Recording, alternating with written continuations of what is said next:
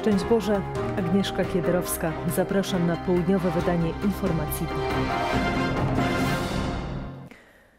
O potrzebie mądrego i sprawiedliwego rozdzielania pieniędzy dla polskiej wsi mówił prezydent Andrzej Duda w trakcie dożynek w Belwederze. Powtórzył, że udało się zrealizować deklaracje wyborcze, a rolnicy otrzymają dopłaty bezpośrednie na poziomie średniej unijnej. Prezydent Andrzej Duda podkreślał, że dziś w Polsce żyje się na najwyższym poziomie w historii. To wciąż jednak kontynuował nie to, co powinno zadowalać władzę. Prezydent wyjaśnił, że potrzebny jest rozwój, zwłaszcza Polski gminnej i wsi. Tak by były tam środki komunikacji, a młodzież na tej wsi chciała pozostać. Realizacji tego zadania ma służyć Polski Plan dla Wspólnej Polityki Rolnej. Ogromna kwota 25 miliardów euro na kolejną perspektywę lat 2023-2027 została ostatecznie przyznana i będzie mogła być rozdzielona pomiędzy polskich rolników. Andrzej Duda w trakcie prezydenckich dożynek w Belwederze wyraził nadzieję, że te pieniądze będą dzielone mądrze i sprawiedliwie. Apelował też do władz na każdym szczeblu, by środki unijne zostały dobrze spożytkowane. Bo to nie tylko są te dopłaty bezpośrednie, które stanowią oczywiście w tym wszystkim ogromną kwotę i które wreszcie będą na takim poziomie, jak są na zachodzie Europy, o czym od tylu lat rozmawialiśmy. Ale to są także i środki na rozwój obszarów wiejskich. Dziś polska wieś odczuwa silne skutki kryzysu energetycznego. Wzrosły ceny surowców, energii i gazu, wysokie ceny nawozów i paliw zmuszają rolników do pytania, na ile gospodarka rolna może być opłacalna.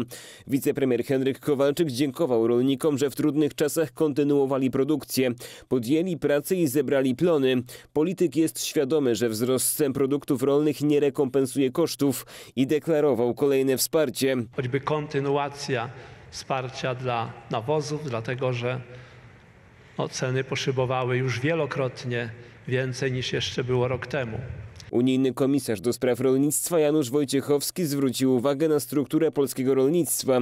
Przypomniał, że średnio gospodarstwo ma wielkość 11 hektarów. Obok są kraje ze średnią powyżej 100, ale to Polska eksportuje do nich żywność. To sukces małych i średnich gospodarstw i to one mają być silnie wspierane poprzez dopłaty bezpośrednie na poziomie powyżej średniej unijnej. Gospodarstwa do 50 hektarów to jest 97% gospodarstw rolnych w Polsce. Krajowy plan dla polskiego rolnictwa, który już został zaakceptowany przez Brukselę, przewiduje też duże środki dla hodowców. To odpowiedź na likwidację tysięcy gospodarstw w ciągu ostatnich lat. Kolejny element zawarty w dokumencie określającym przyszłość polskiego rolnictwa unijny komisarz określił jako rolnictwo węglowe. Mówił też, że to płacenie rolnikom za praktyki, które wykonują dobrowolnie już teraz. Takie praktyki jak na przykład przyorywanie czy wymieszanie słomy z glebą, stosowanie obornika, czy stosowanie poplonów. Według unijnego komisarza Janusza Wojciechowskiego nie ma w planie strategicznym dla polskiej wsi niczego, co ograniczałoby produkcję rolną. W jego ocenie udało się zatrzymać w polskich rękach wiele suwerenności w polityce rolnej, o co wyjaśnił toczyła się duża batalia. Obóz rządzący jeszcze w tym tygodniu chce zgłosić do Sejmu projekt o przesunięcie wyborów samorządowych. O szczegółach w Polskim Radiu mówił poseł i sekretarz generalny PiSu Krzysztof Sobolewski. Będzie to złożone prawdopodobnie e, jeszcze na tym posiedzeniu Sejmu. Nie wiem, czy będzie procedowane, natomiast w tym tygodniu e, chcielibyśmy złożyć ten projekt. Pilna sprawa ze względu na okres e, do wyborów zostało troszkę ponad rok czasu, więc z tego względu nawet kalendarzowego jest to temat dosyć istotny i pilny. Mamy tu wsparcie całego obozu Zjednoczonej Prawicy, więc nie przewiduję, aby ten projekt miał jakiekolwiek problemy proceduralne w Sejmie. Oczywiście jest Senat, wiemy, 30 dni, więc liczymy też ten okres kalendarzowy e, e, inicjatywy Senatu, znaczy Senat, kiedy będzie w Senacie, ale nie przypuszczam, byśmy mieli problem z tym projektem, aby został przegłosowany no tak, w Sejmie.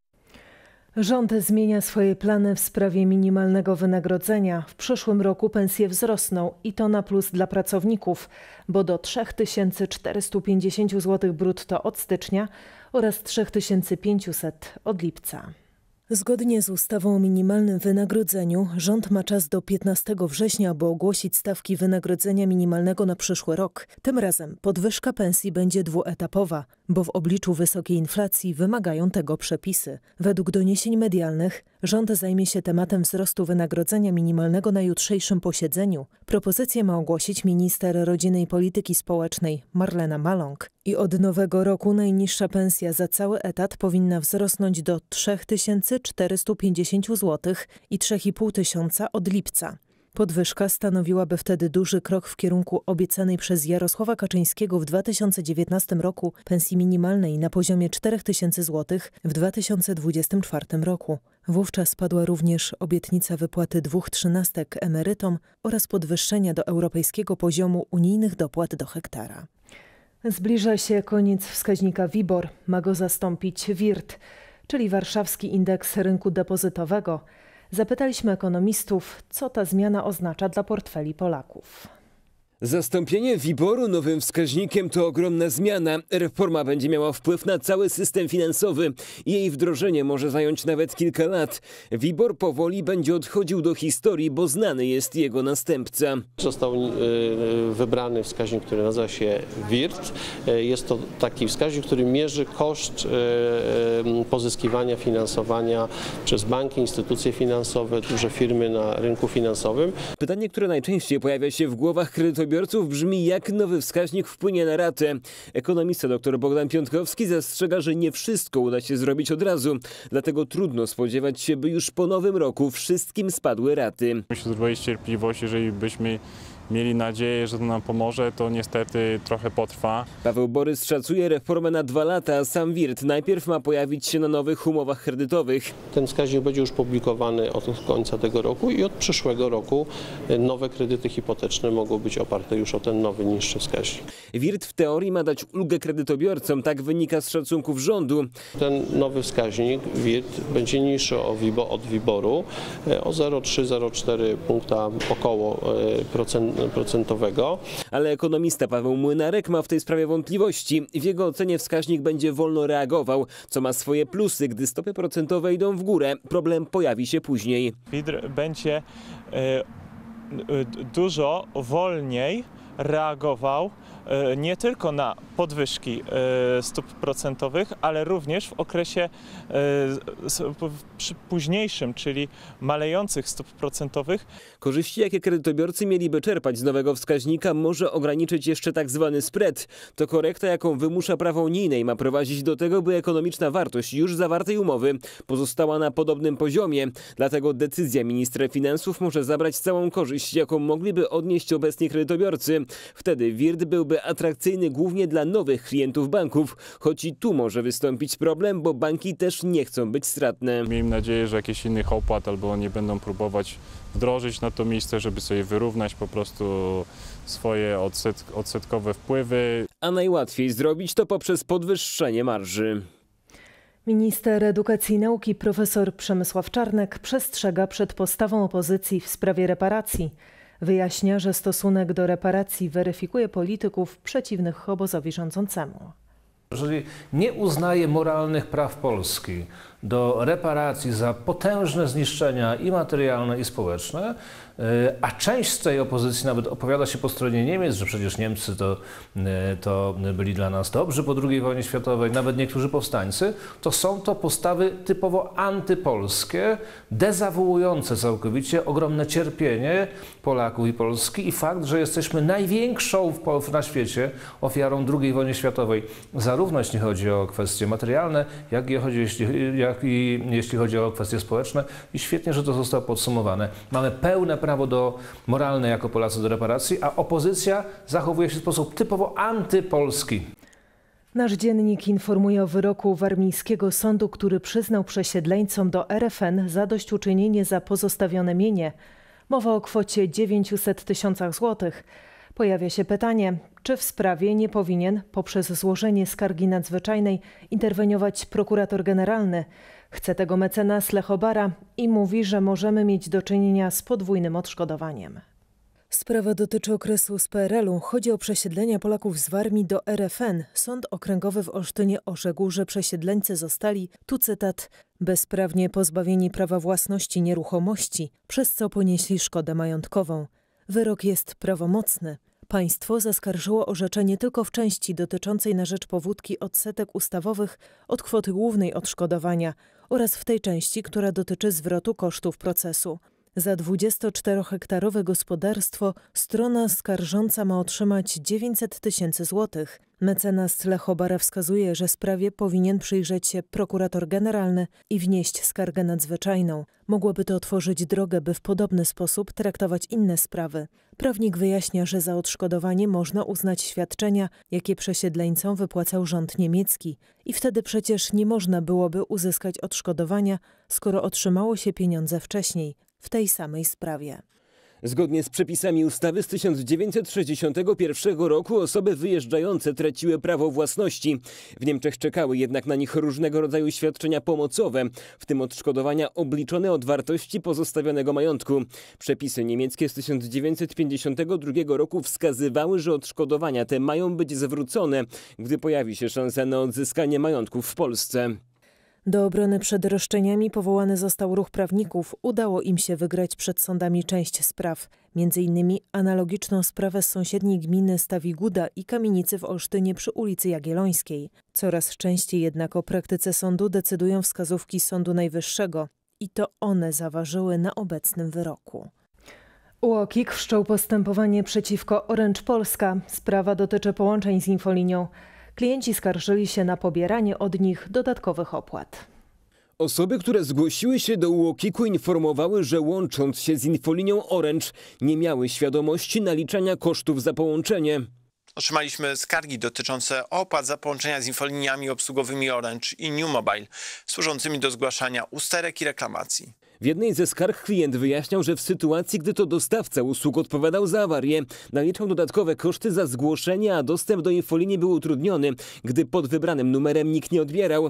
Działo się tak, choć ten sam klient miał obok usług telewizyjnych, także usługi telefoniczne i nielimitowane rozmowy, a płatność pobierano także nie tylko za samo połączenie, ale również za oczekiwanie na połączenie. UOKiK podjął interwencję i wszczął postępowanie przeciwko Orange Polska taryfach, w których konsumenci nie są obciążani kosztami za połączenia z numerami komórkowymi, połączenie z udostępnianym przez Orange numerem komórkowym infolinii powinno być bezpłatne. Zastrzeżenia urzędu budzi też inna praktyka Orange. Gdy klient zgłaszał reklamację, firma miała pobierać opłaty za diagnozę, kto zawinił w przypadku uszkodzenia. Naliczenie opłaty następowało z kolei już po dokonaniu diagnozy, a wzywając technika, klient nie wiedział, czy usługa będzie płatna, czy nie. Według UOKiK-u obowiązkiem przedsiębiorcy jest bezpłatne sprawdzenie, czy kierowane wobec niego zarzuty są zasadne, czy nie. Orange grozi kara do 10% rocznego obrotu.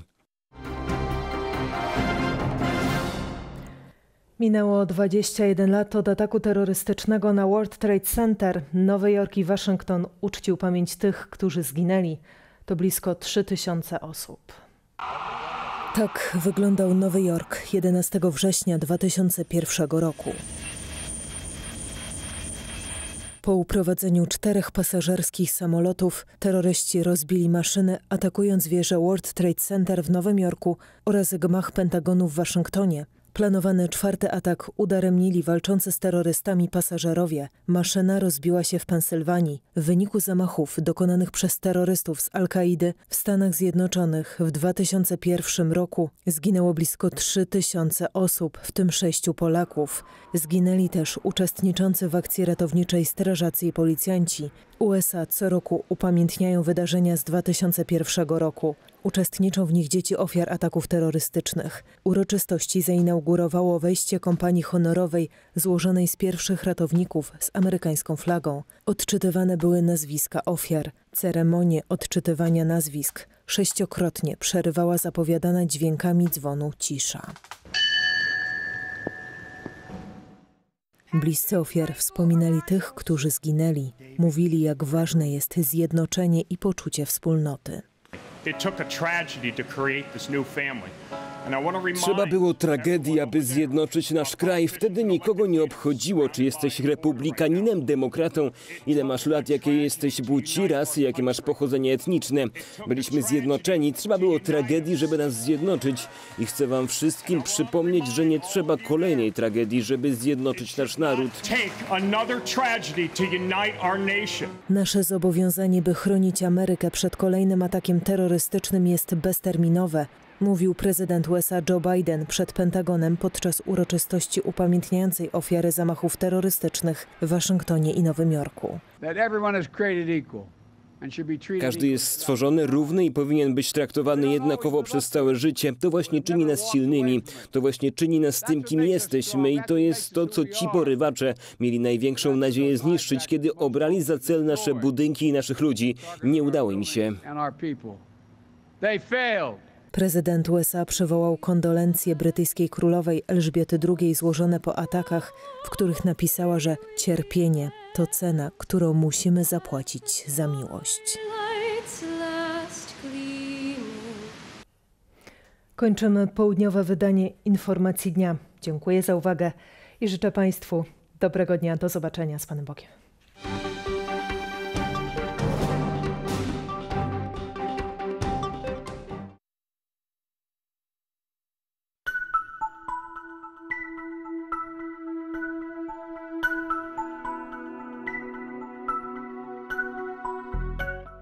Dłuższe chwile z deszczem muszą przygotować się mieszkańcy wschodu, Pomorza i Śląska.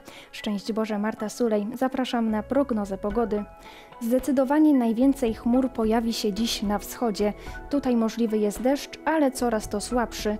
Opady możliwe także w pasie od Pomorza po Śląsk. Najchłodniejsze powietrze utrzyma się nad wschodem zaledwie 11 do maksymalnie 13 stopni. Na zachodzie temperatura będzie dużo wyższa i przyjemniejsza. Po południu termometry wskażą tutaj nawet 21 kresek. Wiatr będzie umiarkowany i powieje z północnego zachodu, a barometry w Warszawie wskazują 1006 hektopaskali. We wtorek nad Polskę wkroczy strefa słabnących opadów deszczu. Z biegiem dnia będzie przemieszczać się w kierunku południowo-wschodnim. We wschodnich regionach nadal będzie najchłodniej tylko 17 stopni, a na zachodzie cieplej do 23. Ciepłe powietrze nie utrzyma się nad zachodem na długo. Od środy szykuje się znaczne ochłodzenie. Życzę Państwu dobrego dnia z Panem Bogiem.